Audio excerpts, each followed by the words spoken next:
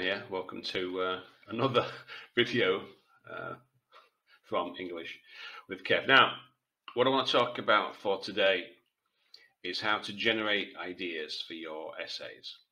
Now, this is uh, something that uh, quite a few of my students have a problem with, as I find almost every single day. They send me essays and we talk about them and often the quality of the ideas doesn't really work, or they haven't thought it through, or they've misinterpreted the um, question, etc. So, what I'm going to do, we're just going to go through how to generate ideas. The main one is going to be a separate recording. I'm going to do that uh, a bit later. That's how to generate an sorry, how to create an ideas bank. I think that's the most uh, effective way.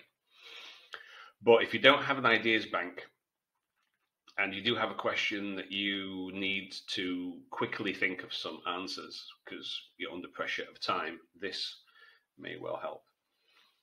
So let me go to step one. So the first thing, uh, which will be the subject of another video, ideas bank.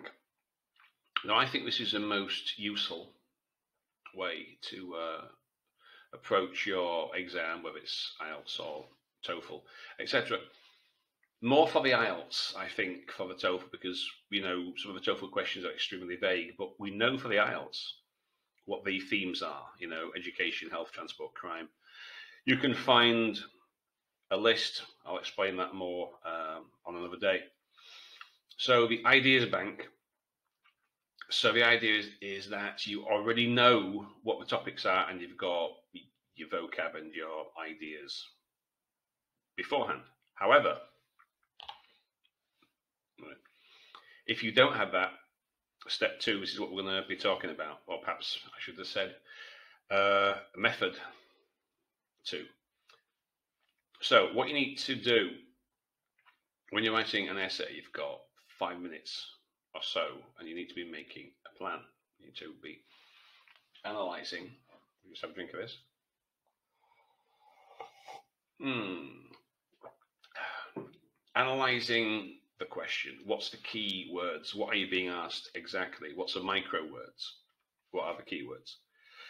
We'll take a look at some examples uh, in a second. So, all essays need an angle and approach. How are you going to approach the question? Obviously, there's different ways, you know, depending on how it's worded. Uh, so you might have to define some of the key terms, like for example, as we'll see in an example, the popular topic of arts expenditure.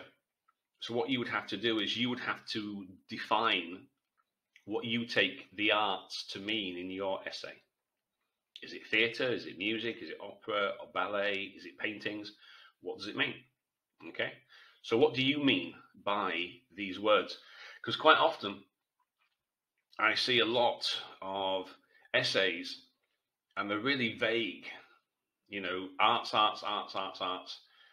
So I have to ask them, what do you mean? You can't assume that I know what you mean, that the reader knows what you mean. You, you might have to tell me.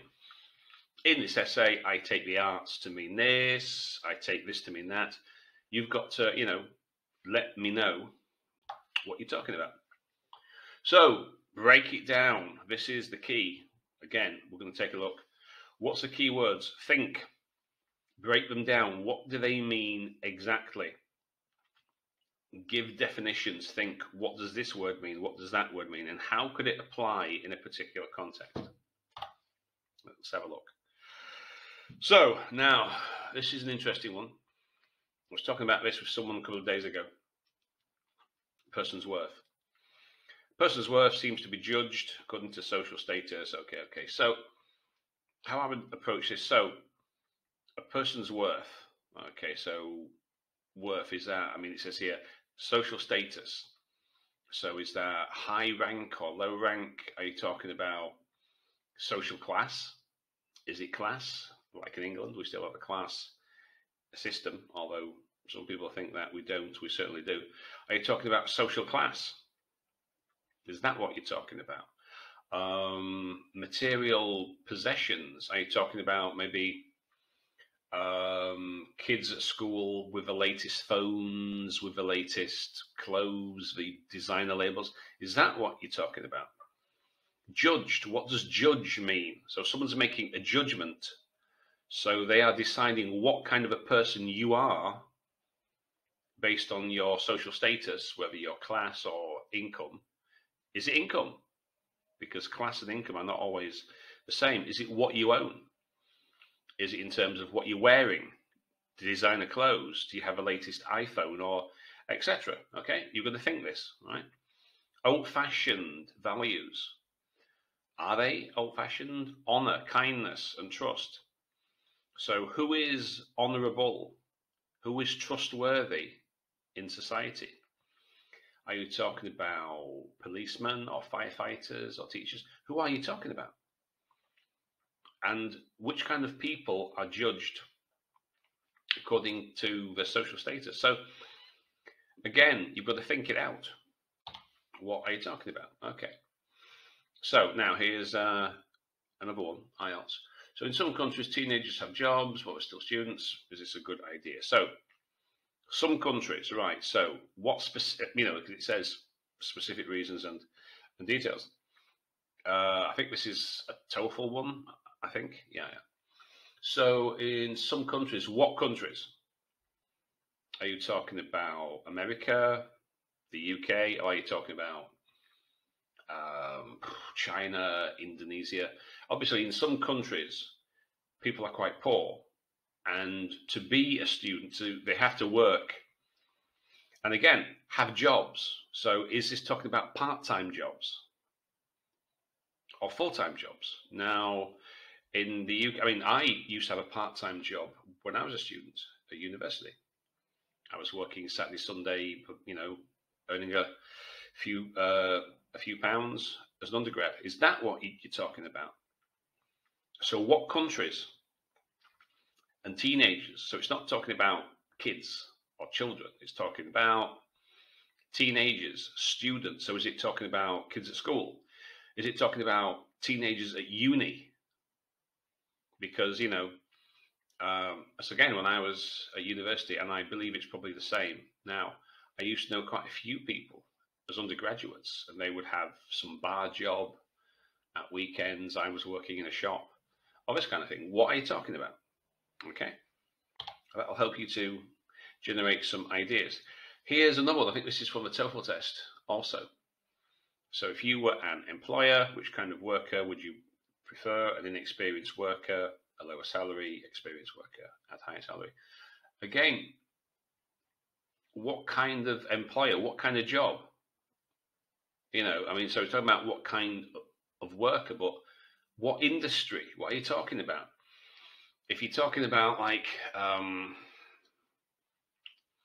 maybe you have a market stall and you want some guy to run the market stall to sell fruit and vegetables do you really need an experienced worker to put some apples into a bag and give it to somebody in a market not really so what kind of you know what employer what sector what industry what kind of job because obviously, um, I presume if you were, you know, if you had some IT job, you'd want somebody with experience.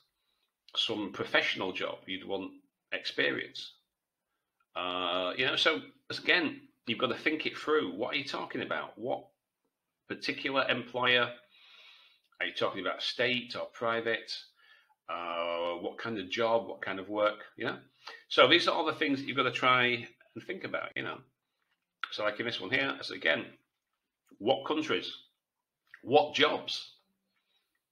I mean, are you talking? So, you know, it could be a good idea, for example, for maybe if you're a university student to maybe have a bar job, you know, so you could learn people skills, managing your time, you know, all these kind of things. That could well be good. Um, working in a uh, a steel mill as an undergraduate is probably not a good idea. So, what are you talking? I mean, again, sp- specifics, specific reasons, and details. Again, this one here, a person's worth. So, in your examples, what kind of person? Who are you talking about?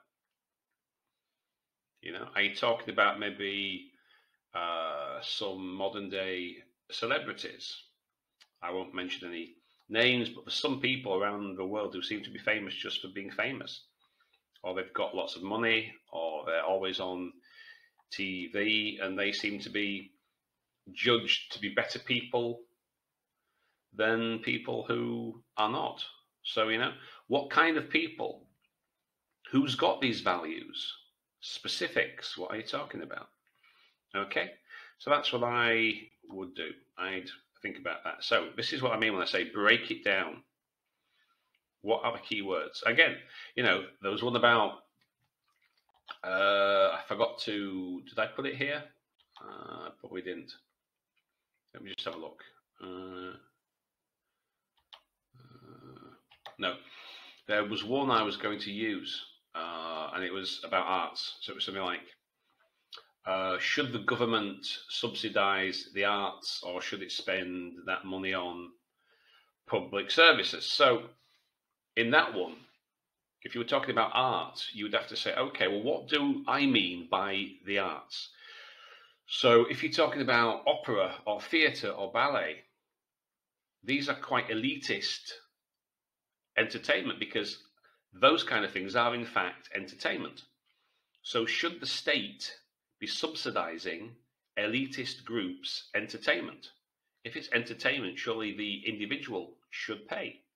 So, what arts? What are you talking about? You know, are you talking about um, should they subsidize the collection of paintings that may be of an historical nature?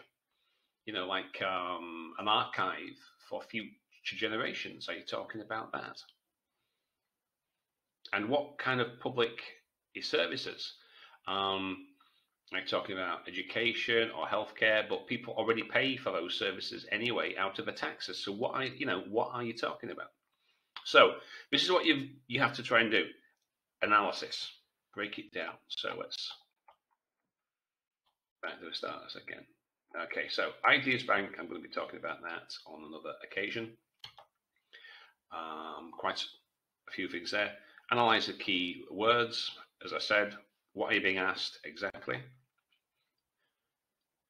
One of the main reasons for people getting a low task response score is they misinterpret the question, and that's not good. All I say is need an angle, an approach. Which way are you going to go? Are you going to go down the elitist entertainment route for like arts, are you going to go down? Yes, they should because it's a duty to preserve the national identity. Does art represent that? you know, what is the angle you're going to take there? Okay. And break it down, get those keywords, start thinking, analyze. In this context, what does it mean?